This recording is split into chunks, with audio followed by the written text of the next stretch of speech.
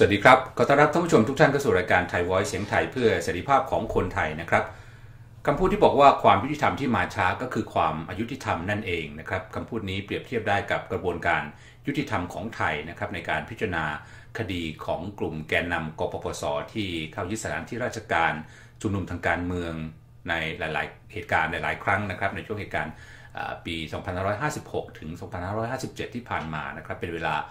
3 ปีกว่าแล้วนะครับ แต่ว่ากระบวนการยุติธรรมก็ยังไม่สามารถที่จะเอาผิดบรรดาแกนนำกปปสคนใดได้เลยนะครับโดยเหตุนนี้เองทางเลขาธิการสมาพันธ์นักกฎหมายเพื่อสิทธิเสรีภาพ หรือว่าสกสสนำโดยคุณวินยัตชาติมนตรีนะครับซึ่งเป็นเลขาธิการก็ได้เดินทางเข้ายื่นหนังสือถึงอธิบดีอายการสำนักงานอายการพิเศษ เพื่อที่จะให้เร่งดำเนินการ หรือว่าเร่งให้อายการสั่งฟ้องคดีนี้ เพราะว่าเวลาผ่านมา 3 ปีแล้วนะครับแล้วก็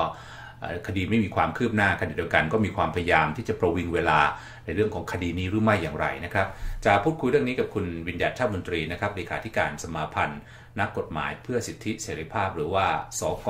สสสสวัสดีครับ คุณวิญญาครับ สวัสดีครับ ครับ สวัสดีครับพี่จอมครับครับขอบคุณนะฮะที่ให้เกียรติพูดคุยกันอีกครั้งหนึ่งดูเหมือนว่ายินดีครับ มีข้อเท็จจริงอะไรครับที่ทำให้มีความ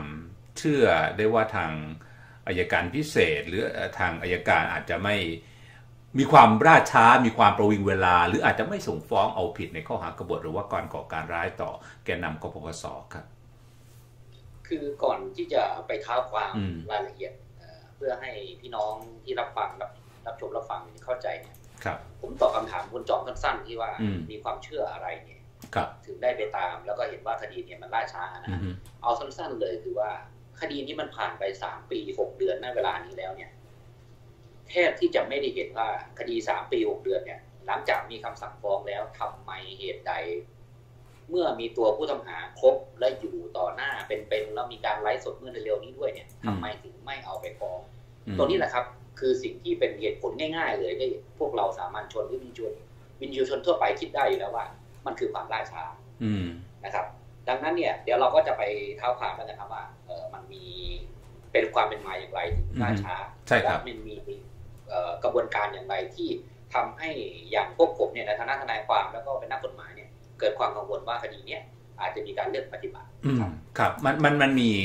มันมีความเป็นมาอย่างไร เรื่องเรื่องของคดีของแกนนากปปสเนี่ยมีคณะสำนักงานอายการพิเศษใช่ไหมคดีพิเศษเป็นคนรับเรื่องแล้ว แล้วก็พิจารณาแล้วอ่าแล้วแล้ว พอตั้งคณะขึ้นมาทำงานแล้ว ได้ข้อสรุปออกมาแล้วใช่ไหมฮะว่าจะมีการสั่งฟ้องในคดีไหนอย่างไร แล้วยังไงต่อครับ เมื่อมีคณะกรรมการชุดนั้นแล้ว ครับคือเริ่มต้นเนี่ย เราทราบกันอยู่แล้วว่ากรปปสเนี่ยนำโดยคุณสุเทพเทือกสุบรรณกับพวกหลายรายนะฮะที่มีการเป็นแกนนำก็ดี หรือเป็นผู้ที่เข้าร่วมปราศัยก็ดี แล้วก็ผู้ที่เข้าไปชุมนุมปิดสถานที่ต่างๆ ก็ดีเนี่ย มีการชุมนุมตั้งแต่ปลายปีห้าหก คาบเกี่ยวมาปีห้าเจ็ดแล้วกระทั่งมามีถูกเรียกตัวไปที่กองหอประชุมกองทัพบกเมื่อช่วงวันที่20 21นะครับ พฤษภา57จนกระทั่งพลเอกประยุทธ์จันโอชาเนี่ยก็มีการประกาศยึดอำนาจในวันที่ 22 พฤษภา57ครับตรงนั้นก็เลยกลายเป็นจุดหนึ่งที่ทำให้เกิดผลของการเปลี่ยนแปลงในคดีของกบปส ผมใช้คำนี้เนื่องจากว่า จากสิ่งที่เราเฝ้าสังเกตการแล้วก็เฝ้าติดตามคดีนี้มาเนี่ยคือคดีที่มีการสั่งฟ้องผู้ต้องหากลุ่มนี้กลุ่มกบสเนี่ยนะฮะเรียกสั้นๆแล้วกันนะไปแล้วการฟ้องคำสั่งฟ้องเนี่ย ฟ้องไปแล้วตั้งแต่ต้นเดือนพฤษภาห้าเจ็ดนะครับต้นเดือนพฤษภาห้าเจ็ดก่อนยึดอำนาจนะฮะครับเมื่อวันที่แปดพฤษภาห้าเจ็ดมีการแถลงข่าวโดยโฆษกสำนักงานอายการสูงสุด และขณะเดียวกันท่านก็เป็นอธิบดีสำนักงานคดีพิเศษ เป็นอธิบดีอายการสำนักงานคดีพิเศษนะฮะซึ่งเป็นคณะทำงานที่ตั้งขึ้นโดยอายการสูงสุดในขณะนั้นคือนายอัตพลใหญ่สว่างครับ ได้ตั้งชุดนี้ขึ้นมาเพื่อที่จะพิจารณาสำนวนคดีสอบสวนพิเศษ ก็คือเป็นของกรมสอบสวนคดีพิเศษนั่นเองครับ เนื่องจากว่าคดีนี้รับเป็นคดีพิเศษกรมสอบสวนคดีพิเศษก็ทำการสอบสวน สอบสวนเสร็จมีการจับกลุ่มผู้ต้องหา มีการแจ้งข้อกล่าวหามี การรวบรวมพยานหลักฐานจนสิ้นกระแสความครับ มีการตั้งคณะกรรมนะครับ ครับคำสั่งฟ้องนี้ก็เกิดขึ้น และมีการเผยแพร่สถลงข่าวต่อสาธารณชนเป็นที่รับทราบ และมีการฟ้องคดีแรกในวันที่ 8 พฤษภานั่นเองกระทั่งมาคดีที่สองก็คือวันที่ 12 พฤษภา และคดีที่สามก็คือวันที่ 21 พฤษภาปีไหนในเดือนปีห้าเจ็ดใช่ไหมฮะ ปีห้าเจ็ดครับคุณจอมนะอ่าโอเคฟ้องสามคดี ฟ้องสามคดีแรกเนี่ย รวมแล้วเป็นสี่คน ก็มีสี่สอเสือนะครับเราต้องเอ่ยนามนิดนึงก็คือมีคุณสนธิยานชื่อไทยในธรรม คุณสมบัติคุณสมบัติทำนงธัญวงศ์นะครับ แล้วก็คุณสนธิยาไอ้คุณสนธิยาไปแล้วนะฮะตอนนี้สกุลคุณสกลที แล้วก็คุณเสรีวงมุนทาสี่สอเสือเนี่ยถูกฟ้องในสามคดีแรกครับยี่สิบเอ็ดฟ้องคดีสุดท้ายเนี่ยยี่สิบสองก็ยึดอำนาจหลังจากยึดอำนาจเสร็จครับ สิ่งหนึ่งที่พวกเราได้เห็นเป็นปรากฏการณ์ออกมาก็คือมีประกาศ หรือคำสั่งคอสชผมจำไม่ได้นะ ไม่ประกาศก็เป็นคำสั่งนี่แหละ ที่ให้โยกย้ายอายการสูงสุดนายอัตพลใหญ่สว่างออกจากการเป็นอายการสูงสุดทันทีอ๋อครับ นะนั่นนั่นคือจุดเริ่มต้นของการเปลี่ยนคดีทำไมถึงออกไปผมไม่ทราบเหตุผลของคอสชแต่การออกไปดังกล่าวเนี่ยทำให้เราวิตกกังวล และก็เริ่มที่จะจับตามองคดีกรบสตั้งแต่นั้นเป็นต้นมาจนกระทั่งมีอายการสูงสุดคนใหม่เข้ามาตามคำสั่งของของคอสช ก็คือนายตนายตระกูลนะครับ นายตระกูลเนี่ย หรือนายท่านชื่อนายตระกูลวินิจวินิจนายภาค รับนายตระกูลเนี่ยรับตำแหน่งเมื่อวันที่ 27 มิถุนา57 ไปสิ้นสุดรับการรับตำแหน่งเนี่ยหรือพ้นจากตำแหน่งวันที่ 30 กันยา 51 ประมาณปีเศษปีเศษท่านทำอะไรฮะคุณจอท่านตั้งคณะทำงานขึ้นมาอีกคณะหนึ่งเพื่อมาพิจารณาสำนวนคดีที่มีการสั่งฟ้องไปแล้วครับ อ้างอะไรครับ อ้างว่าผู้ต้องหาเนี่ยนำโดยนายสุเทพกับพวกเนี่ยประมาณ31ราย จริงๆ มันมีมากกว่านั้นแต่ 31 รายคือคนที่ร่วมลงชื่อในหนังสือขอความเป็นธรรมนะครับ มีอ้างว่าผู้ต้องหาขอความเป็นธรรมเข้ามา อือายการต้องให้ความเป็นธรรมตามระเบียบของอายการตามข้อ 48 ก็อ้างอย่างนั้นนะฮะนั่นก็อ้างเราก็บอกว่า เอ๊ะ ก็อ้างอย่างนี้เนี่ย มันชอบด้วยกฎหมายหรือไม่ ชอบด้วยระเบียบหรือไม่เพราะเหตุใดครับ ตามกฎหมายนี่ถือว่า การจะให้ความเป็นธรรมตามปวิทยามาตรา143 ตามที่ผู้ต้องหาขอได้ อายการจะต้องสั่งให้ความเป็นธรรมหรือสอบสวนเพิ่มเติมก่อนที่จะมีคำสั่งชี้ขาดหรือเขาเรียกว่าคำสั่งฟ้องคดี อืนั่นหมายความว่าคำสั่งฟ้องคดีมันเกิดขึ้นไปแล้ว แต่คณะทำงานหรืออายการสูงสุดในขณะนั้นเนี่ย ให้มีการสอบสวนเพิ่มเติม อันนี้ก็เป็นประเด็นแรกแล้วเริ่มจะมีความผิดกฎหมายแล้วนะฮะแต่อย่างไรก็ดีนะครับ กระบวนการดังกล่าวก็ดำเนินมาโดยอายการตลอดมา โดยคณะของนายตระกูล ซึ่งเป็นอายการสูงสุดในขณะนั้น แต่ปรากฏว่าแทนที่จะรีบสอบสวนเพิ่มเติม แทนที่จะรีบพิจารณาสำนวน แล้วนำตัวผู้ต้องหาที่มีการสั่งฟ้องมาแล้วเนี่ยนำส่งฟ้องศาลต่อไป คือเพราะอะไรฮะสี่คนที่ฟ้องมาแล้วนะคุณจอมครับสี่คนเรียกว่าเป็นกลุ่มที่ไม่ได้มีความสำคัญมากเป็นปลายแถวแล้วกันใช่นะครับปลายแถวที่ผมผมไม่ได้บอกว่าเขามีระดับฐานะเป็นคนปลายแถวนะฮะแต่บอกว่าไม่ได้มีความสำคัญมากแต่ขณะไม่มีความสำคัญยังฟ้องทั้งแปดข้อหา และพฤติการคือร่วมกันการทำความผิด อ่าแล้วเหตุใดนายสุเทพกับพวกทำไมถึงไม่รีบฟ้องตรงนี้แหละฮะคือที่มาที่ไปของสาระสำคัญว่า การประวิงคดีหรือการพยายามเพื่อประโยชน์ให้กับผู้ต้องหานี่มันเกิดขึ้นแล้วหรือไม่ตรงนี้เราก็นำเรื่องนี้ไปกล่าวโทษต่อปปชอ๋อเดี๋ยวนะขอขอแทรกนิดเดียวทำไมถึงกรณีของการกล่าวหาไปแล้วเนี่ยนะของสี่สอใช่ไหมสามสอหรือสี่สอเมื่อกี้สี่สออ่าสี่สอทำไมถึงคิดว่าสุดท้ายการ จะทำให้ซึ่งซึ่งในในแง่ของแกนนำเนี่ยถือว่าไม่ใช่เป็นบุคบุคคลแกนนำสำคัญในช่วงการชุมนุมใช่ไหมฮะแล้วมันถ้าถ้าเกิดเออมันจะมีประโยชน์หรือมันจะไปเป็นเอื้อต่อการที่จะฟ้องต่อในบรรดาแกนนำซึ่งเป็นเป็นเป็นบุคคลสำคัญในการเป็นแกนนำกปปสอย่างไรฮะโอ้นี่คำถามดีมากเลยครับคุณจอมฮะคือการฟ้องผู้ต้องหาที่ไม่ได้มีความสำคัญมาก หรือไม่เป็นตัวหลักตัวแกนเนี่ยใช่ใช่ไม่ได้เป็นตัวเป้งว่างั้นเถอะการที่เอาบุคคลเหล่านี้ไปฟ้องและก็มีการสืบพยานโจทย์เนี่ย จนกระทั่งจะเสร็จสิ้นในเดือนกุมภาห้าหกหนึ่งเนี่ยปีหน้าเนี่ยนะฮะการฟ้องบุคคลเหล่านี้เนี่ย มันทำให้ผู้ต้องหาที่ยังไม่ถูกฟ้องเนี่ย มีโอกาสร่วมรู้พยานหลักฐาน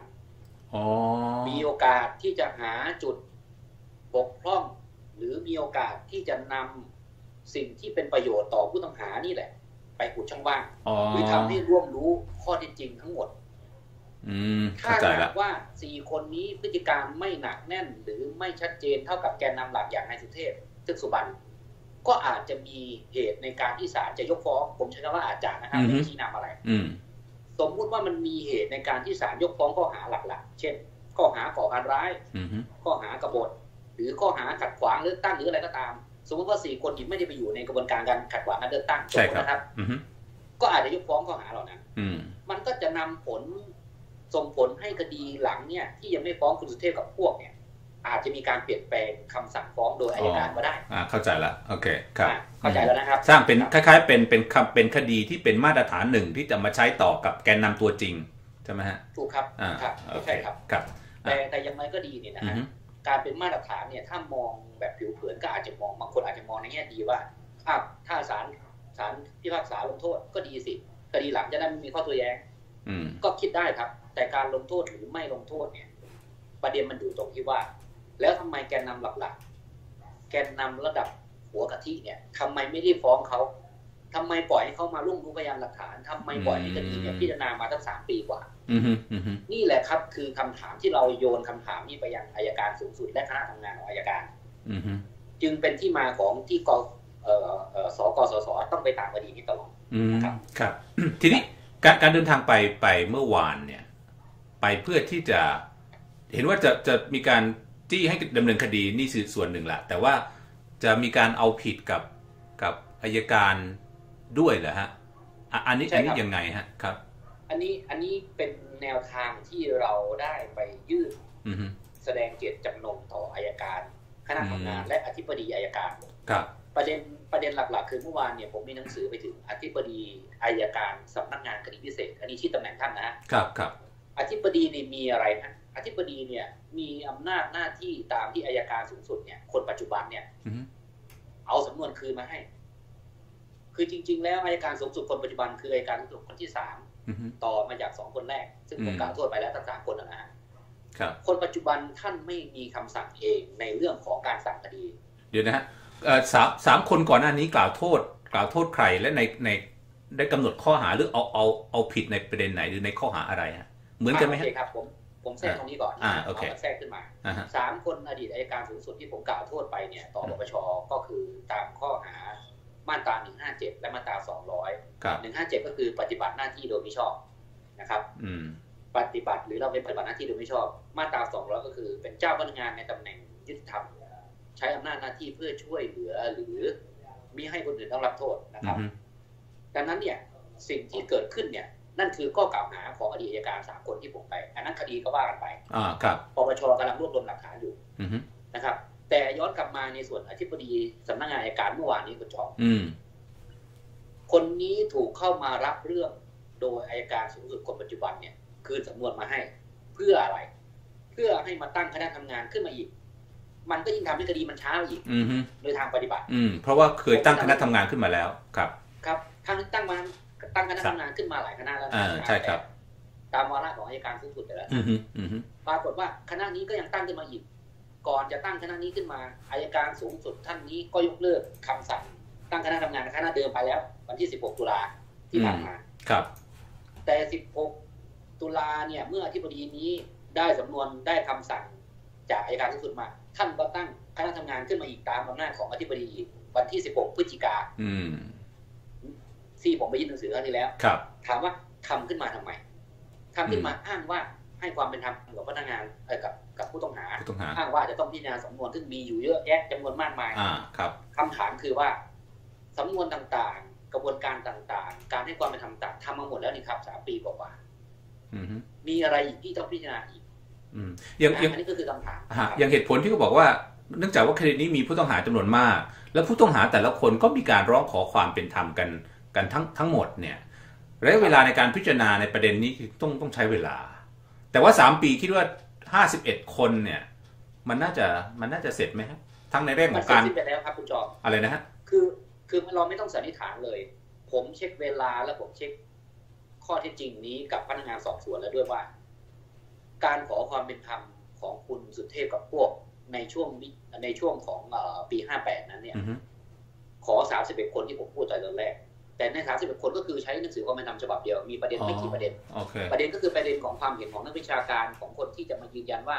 การชุมนุมของเขาเนี่ยเป็นการชุมนุมโดยชอบเป็นการชุมนุมโดยทำประโยชน์ประเทศชาติก็คือเหมือนกันเหตุผลเหมือนกันเหมือนกัน และเป็นประเด็นความเห็นของนักวิชาการ ไม่ใช่ประเด็นที่ชี้ถูกชี้ผิดหรือเป็นประจักษ์พยานถามว่าน้ำหนักมีมากไหมสำหรับนักกฎหมายเราฟองแล้วมันไม่ได้มีน้ำหนักอะไร อืแต่เอาละเพื่อให้ความเป็นธรรมก็เขาก็ทำไปในส่วนของการให้ความเป็นธรรมดังกล่าว อายการสูงสุดท่านก็สั่งสอบเพิ่มเติม PSI ก็สอบให้แล้ว ส่งสำนวนมาอายการแล้ว อันนี้ผมเห็นหนังสือหมดแล้วนะครับแต่ปรากฏว่าอายการกลับไม่มีคำสั่งอีกตั้งคณะกรรมการขึ้นมาอีก เพื่ออะไรครับเพื่อประวินคดีหรือไม่ หรือเพื่อที่จะรอผลคดีที่ผมบอกหรือไม่สิ่งเหล่านี้แหละครับ คือพฤติการที่ผมนำไปกล่าวโทษอายการสูงสุดทั้งสามท่านก็แล้วคนต่อมาลำดับต่อมาที่ผมไปเมื่อวานเนี่ยก็เหมือนกับการที่ว่าผมกำลังจะบอกแล้วนะว่า คนต่อไปคืออธิบดีนั่นคือถ้าท่านอธิบดีท่านยังเฉยเมย หรือท่านยังแบบเออทำให้ล่าช้าไปอีกโดยใช้เทคนิคอะไรต่างๆที่เกิดขึ้นตามหน้าหน้าที่ก็ตามเนี่ยเรามองว่าพฤติการเข้าข่ายการกระทำความผิดโดยการเอื้อประโยชน์ให้กับผู้ต้องหาเรามองอย่างนั้นแล้วถ้าเกิดว่าเป็นในลักษณะนั้นเนี่ย จะจะทำยังไงต่อเห็นว่าภายในกำหนดเวลากันไว้ด้วยใช่ไหมฮะสิบหกธันวาคมนี้หาก หากไม่มีการสั่งฟ้อง ก็จะเอาผิดกับอายการถูกต้องครับคือแต่อย่างนี้ฮะคุณจอมครับล่าสุดเนี่ยทราบข่าวว่าวันที่สิบห้าธันวาจะมีการนัดผู้ต้องหามาฟังคำสั่งซึ่งการนัดนี้ก็นัดเกิดขึ้นมาเรื่อยแหละตั้งแต่สามปีกว่าก็นัดรอบรอบรอบรอบมาแต่ถามว่าสิบห้าธันวาเนี่ย ถ้าหากไม่มีความคืบหน้าในการสั่งฟ้องที่ชัดเจน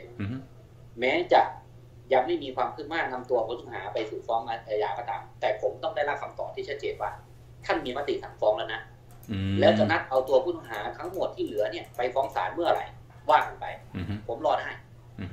แต่อย่างน้อยผมต้องทราบว่า ท่านมีมติสั่งฟ้องตามมติเดิมแล้วไม่ได้ฝ่าฝืนอะไร ทีนี้ถ้าอย่างนั้นครับ ถ้าอย่างนั้นวันที่สิบห้าที่จะถึงธันวาคมเนี่ย ถ้าหากว่ายังไม่มีมติสั่งฟ้องออกมา ทางสกสศจะทํำยังไงฮะ ครับ คือถ้ายังไม่มีมติสั่งฟ้องและก็ยังไม่มีคำตอบไว้ผมชัดเจนเนี่ยผมก็จะตรวจสอบไปที่อายการสำนักงานอายการพิเศษครับถ้าหากว่าตรวจสอบแล้วไม่มีคำตอบ อันนี้ผมยังคือเรายังให้โอกาสกันอยู่นะอืเราก็ถ้าหากแล้วภายในสิ้นเดือนสิ้นสิ้นปีนี้ถ้าหากไม่มีความชัดเจนอีกเนี่ยปีหน้าผมก็ร่างฟ้องละตอนนี้ร่างฟ้องเตรียมมาแล้วด้วยฟ้องฟ้องไข่บ้างหมายถึงว่าฟ้องทางสำนักงาน ฟ้องอธิบดีสำนักงานคดีพิเศษ ฟ้องอายการคณะทำงาน ที่เราสามารถที่จะคัดชื่อออกมาต่อศาลคดีทุจริตประพฤติมิชอบกลางนะครับ อันนี้เราต้องร่างฟ้องเองแล้วก็มีการไต่สวนเอง เพราะว่าตำแหน่งอธิบดีกับพนักงานอายการเนี่ย ฟ้องกับศาลนี้ได้ แต่ตำแหน่งอายการสูงสุดเนี่ยต้องไปทางปปชครับ อืมอืมครับ ซึ่งซึ่งก็ก็คงต้องรอดูวันที่สิบห้าใช่ไหมฮะว่าว่าผลจะเป็นยังไงรอดูครับ นี่นี่คือมีมีอะไรอีกที่ที่ดูแล้วนี่คือในส่วนของทางสำนักงาน